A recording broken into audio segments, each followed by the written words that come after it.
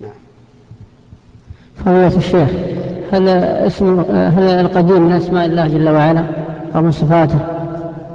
لا. القديم ليس من أسماء الله. وليس من صفاته. لكن المقدم من أسماء الله. كما جاء في الحديث أنت المقدم وأنت المؤخر. توجيه الحديث الشيخ وسلطانك القديم. هذا هذا وصف للصفة وليس وصف للموصوف. سلطانها القديم يعني القديم هو السلطان. نعم.